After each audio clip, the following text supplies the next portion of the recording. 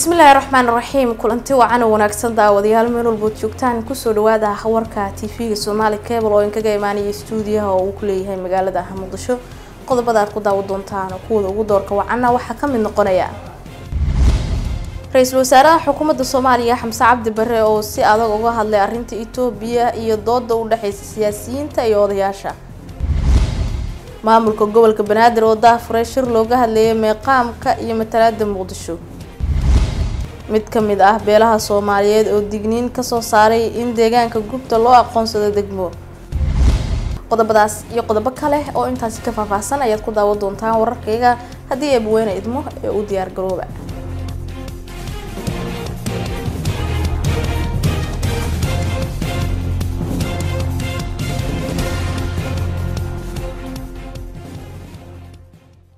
My banki mastercard waxaad lacagtaada si toosa ugala bixi kartaa a t m-yada dalka iyo kuwa caalamka.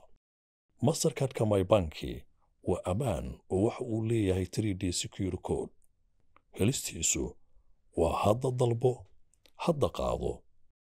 My bank mastercard. Ra'iisul wasaaraha xukuumadda federaalk soomaaliya xamse cabdi bare ayaa si adag uga hadlay arinta itoobiya iyo dooda u dhexeysa siyaasiyiinta iyo odayaasha sida faahfaahinta warkani uu ku eegayo waryaheena saleebaan raage ra'isul wasaaraha xukuumadda federaalk xamse cabdi bare maanta waxa uu mar kale ka hadlay arrinta ethoobiya kadib markii maalmihii ugu dambeeyey. Dooddu ay xoogeysatay oo dhinacyada siyaasiyiinta iyo odayaashuba ay isu jawaabayeen. Dooddaas ayaa ka dhalatay hadaladii ka soo yeeray xildhibano ka soo jeeday koonfur galbeed iyo dad u banaanbaxay ethoobiya ra'iisul wasaaruhu maanta waxa uu sheegay in ethoobiya laba arrin ay doonayso in baddu ay xeelad ku qaadato ama xoog ay ku qaadato qof kastoo soomaali ah wuxuu maanta og yahay dowladaha dowlad aan derisnahay oo dowladahaan deriska nahay ka mid ahay in ay heshiis sharci darro ah inay la gashay dowlad goboleed ama dowladda dowlad goboleed ka mida ama maamullada ka mida soomaaliya mid ka mida oo ah somalilan kaas oo sheegaya ama ay tibaaxaya in dal soomaaliyeed qayb ka mid a in dowladdaasi ay si sharci darro ah inay leedahay waan waan qaadanayaa waa layga kiraynayaa waan qaadanayaa ciidan baan degsanayaa deked baan ka dhisanayaa anaana samaysanaya. Ayagoo og weliba in maamulkaasi uu ka tirsan yahay jamhuuriyadda soomaaliya. Ayagoo og in dastuurka soomaaliya uusan u oggolayn arrimaha noocaas oo kale ah inay maamulladu ay ayagu ka taliyaan oo ka arrimiyaan ayagoo og in dadka soomaaliyeed ay muddo dheer ay ayaga laftooda ay jallenji iyo dhibaata ay u soo dhexaysa ayagoo og inay dadka soomaaliyeed aynan aqbali doonin dowladda soomaaliyeedna aysan aqbali doonin ayay arrintaas sameeyeen waxaannu geed walba geed dheer iyo geed gaaban u fuulay si nabada in ay saaxiibbadeen uga laabtaan tallaabadaa sharci darrada ay qaadeen. Oo adduunkao dhani la hadlay oo la keri laayahay oo loo sheegay waa sharci darro. War waxaad u socotaani qaanuun kastuu khilaafsan yahay. War waa gardarro laakiin ayaga ay weli diiddan yihiin oo taliska adisababa ay diiddan yihiin waa la socotaan. Arrinta halkaa maraysa ee adduunyadii oo dhan soomaaliya iyo adduunyadii oo dhan oo garab taagan iyo dawlad qaanuunkii caalamigaa jebinaysa ay inay meesha isku hayaan iyadoo sheekadu halkaa marayso. Waxaa nasiib darro ah inaynu si kale wax u akhrinayno haddaynu soomaalina arrintaasi waxay u dhexaysaa ummadda soomaaliyeed oo dhan shacabka soomaaliyeed dawladda soomaaliyeed meel kastoo ay joogaan. Ma jiro qof soomaaliya oo diyaar u ah ama raba dalkiisa inay dawlad kale qaadato ma doonayo. Qof raba ma jiro. Ma rabo qof doonaya oo soomaaliya ma jiro. Soomaalidu guud ahaan waxay ka siman tahay daljacaylka waxay ka siman yihiin waxa kaloo dhan waxa kaloo dhan wuu kala qaybin karaa.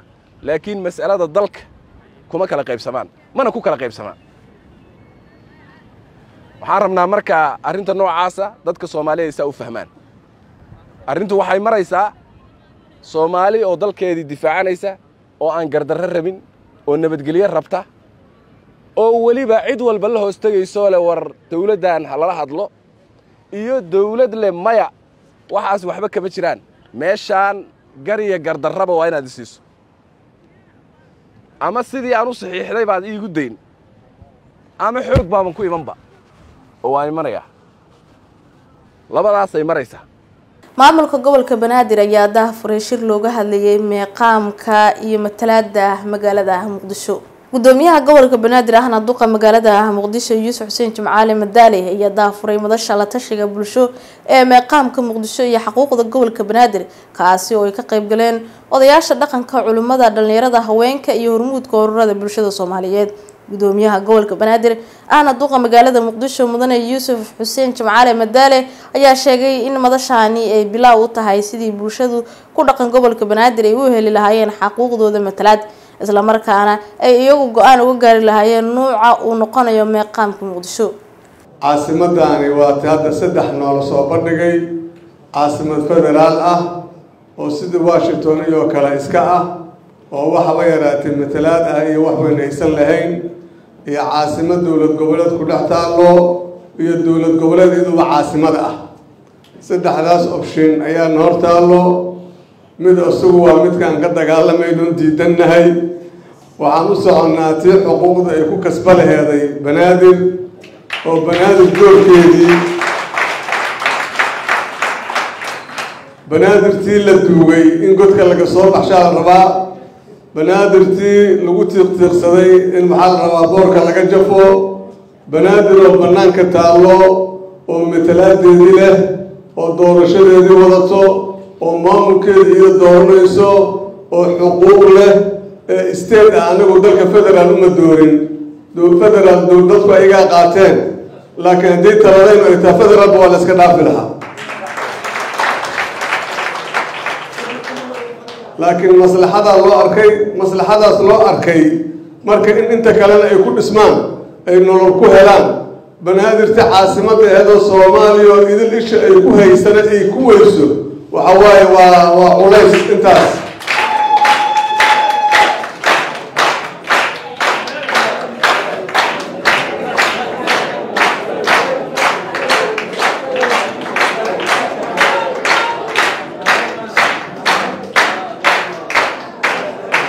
garaadku waa shir shir uu tuuri lahay moogtahay banaadiroo la baabaashaan biyaha ka waa mahadsantihiin waxaan rabnaa marka haddii ilaah yidhaahdo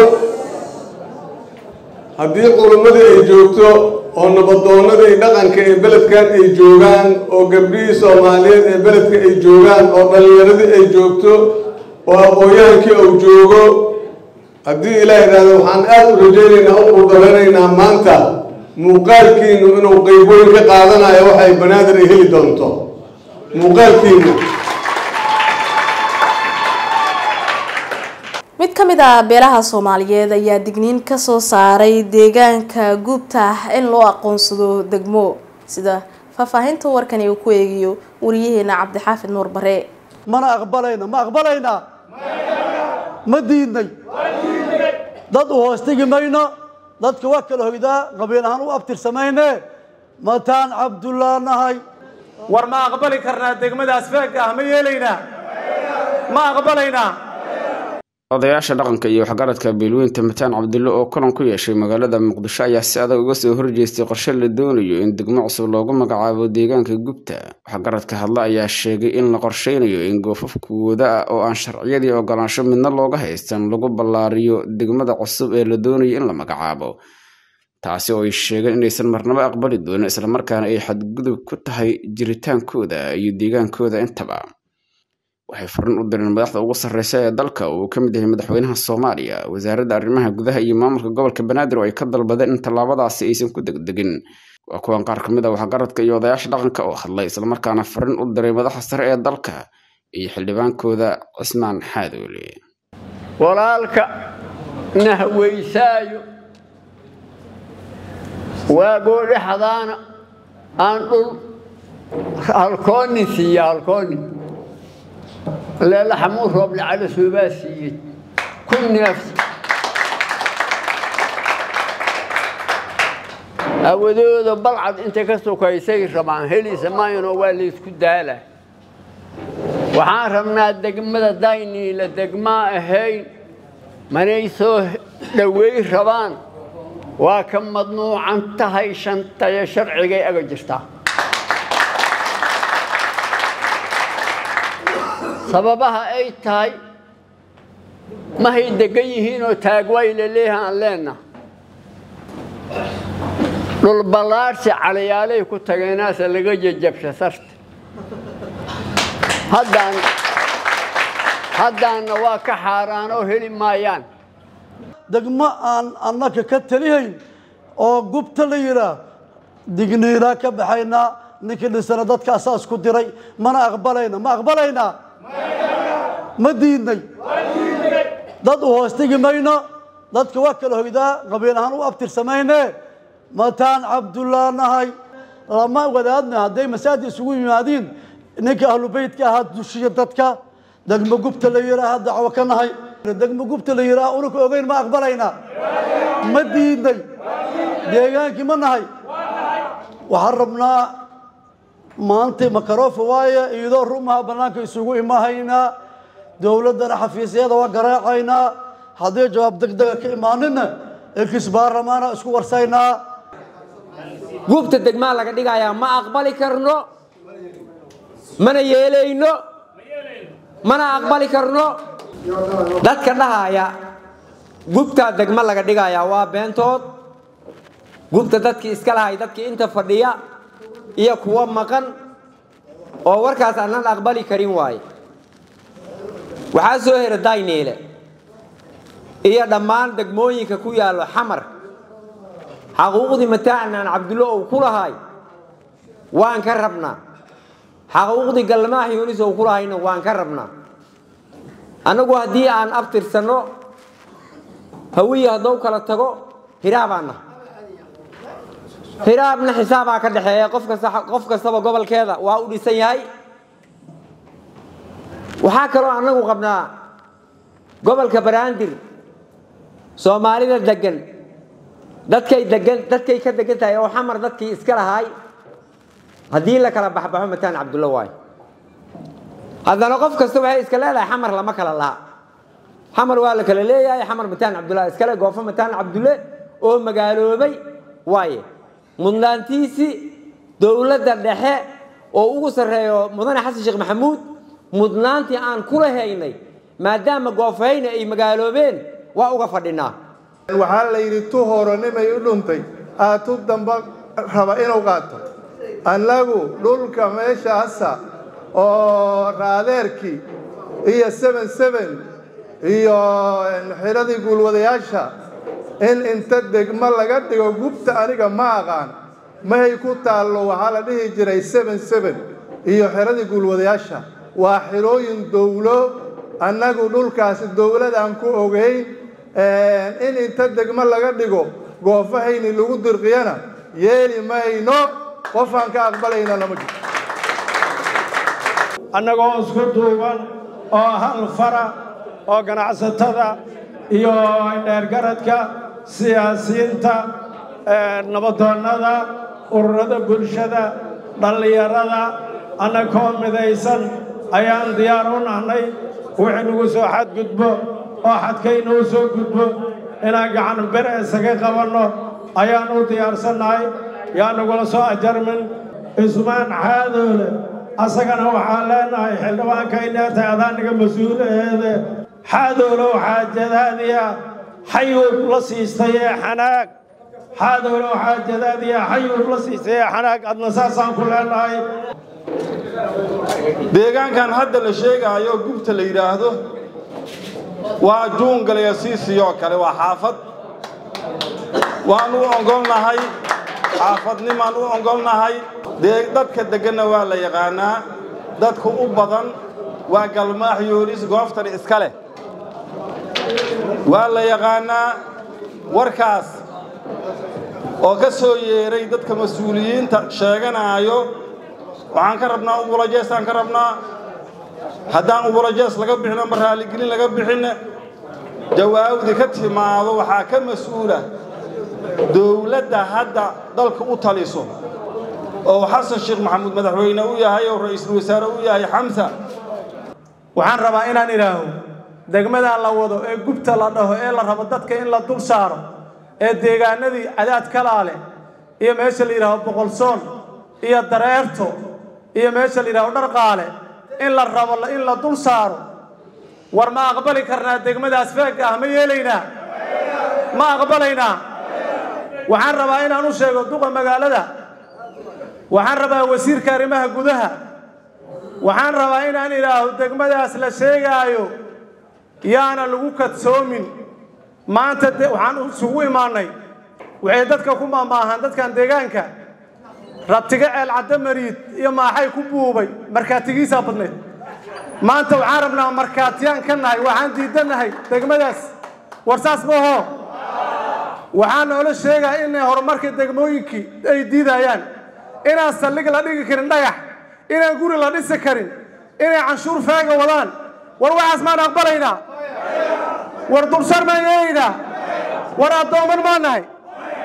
Wixii maanta ka dambeeyo waxaan caddeeyahaynaa haddaan naha dadka deegaanka inaan degmadaas yeeli doonin. Dadka mataan cabdulle ee degan xamar iyo xamardaya waxa ay diidan yihiin in dhulkii dowladda ee mataan cabdulle bixiyey. Hadda dad dana shakhsiga ka leh ay degmo ka magacaabaan. Degmada oo gubtana ma ogolin ma ogolin ma ogolin waa xeryihii dowladda. Shalay sida aan u dhiinno xeryo dowla oga dhignay. Haddayna dowladda xafido karin ha nagu soo wareejiso. Markaana haddii aan eegno qodobada dibadda wararkii ugu dambeeyey ee caalamka waxaa noo soo koobaya wariyaheena saalax cali maxamed. Yukrain ayaa toddobaatan diyaaradood aan duuli aan lahayn ku weerartay saacadihii hore maanta caasimada ruushka ee moscow iyo nawaaxigeeda iyadoo la sheegay inuu yaraan hal qof ay ku geeriyooday burbur gaaray dhismo dad rayid ay deganaayeen oo ku yaalla degmada ramasunka ee moscow oo soddon kilomitir u jirta xafiiska putin ee dhismaha kremlinka. Dhimashada iyo burburka soo gaaray dhismaha ay deganaayeen dadka rayidka ayaa la sheegay inay ka dhalatay diyaaradaha aan duuli aan lahayn oo la sheegay inuu soo riday nidaamka difaaca ruushka sida laga soo xigtay duqa magaalada moscow. Weerarkan ayaa muujinaya inay ukraine hormarisay nidaamyadeeda diyaaradaha aan duuliyaal lahayn iyagoo hadda dalbanaya gantaalada ridada dheer in loo ogolaado si ay weeraradooda u gaarsiiyaan gudaha moscow iyo kaabayaasha ruushka taasoo keentay in ruushka uu qaado weeraro waaweyn oo gudaha ukraine ah. Ciidamada ruushka ayaana ku sii siqaya gobolka donistig iyagoo xooli ku socda inkastoo ay jiraan weeraro ukraine ay ku qaadayso gobolka jariska ee ruushka kaasoo ujeedadiisu ay tahay inta badan in la dhimo horusocodka ciidamada ruushka ee furimaha dagaalka bariga ukraine wasaaradda difaaca ruushka ayaana ku dhawaaqday in maanta ciidamada ruushka ay u suurta gashay inay gacanta ku dhigaan afar magaalo oo ku yaalla gobolka donistig ee bariga ukraine dhanka kale websayteka walaa israa'iil oo soo xiganaya digniinaha rasmiga ee mareykanka ayaa sheegay in dagaalka u dhexeeya israa'iil iyo xisbullah uu keeni karo musiibo iyo cawaaqib lama filaan ah iyadoo rasaasta ka sii socota xadka lubnaan iyo israa'iil ay ku dhaawacmeen laba qof oo lubnaan ah. Sargaalka mareykanka ayaana sheegay in dagaalka u dhexeeya israa'iil iyo xisbullah oo horseedi doono in la dilo dad badan oo israa'iiliyiin ah isagoo intaasi ku daray in laga yaabo qaar badan oo ka mid a israa'iiliyiinta ku dhaqan waqooyiga in aysan helin guryo ay ku soo noqdaan isagoo tixraacaya awoodda gantaalada xisbullah ee burburin kara kaabayaasha israa'iil wuxuuna carabka ku adkeeyey in israa'iil laga yaabo inay qiimo weyn ku bixiso dagaalka ay kula jirto xisbullah oo aysan gaarin hadafkeeda isagoo sheegay in israa'iil aysan burburi karin xisbullah aysan meesha ka saari karin awooddeeda gantaalada. Wuxuuna sheegay in dagaalka lubnaan uu horseedi doono in beesha caalamka ay soo farageliso si loo gaaro xal. Maamulka warfaafinta israa'iil ayaana xaqiijiyay in maamulka mareykanka uu garwaaqsay in heshiiska isdhaafsiga maxaabiista iyo xabajoojinta u dhexeeya israa'iil ururka xamaas uusan ahayn mid soo dhow waxayna bilaabeen inay ka shaqeeyaan qorshe xal loogu raadinayo waqooyiga. Ugu dambeyn intiina shiinaha ayaa ku dhawaaqay in saraakiil sare oo ka tirsan militariga shiinaha iyo mareykanka ay yeesheen wicitaan muuqaal ah. Aruurnimadii maanta xilli labada dal ay tan iyo sannadkii hore isku dayayaan inay sii wadaan wadahadal inkastoo ay kala duwan yihiin. Wasaaradda difaaca shiinaha ayaana bayaan ay soo saartay ku sheegtay in madaxa taliska koonfureed ee ciidamada shiinaha saaki aroortii taleefon muuqaal ah la yeeshay. Dhigiisa madaxa taliska ciidamada mareykanka ee gobolka indo pacific wasaaraddu waxay intaasi ku dartay in mas'uuliyiinta isdhaafsadeen aragtiyo la xiriira danaha guud. Wadahadalka heerka sare ee militari ee u dhexeeya labada dhinac isku haya siyaasadda juqraafiga ayaa ku soo beegmaya.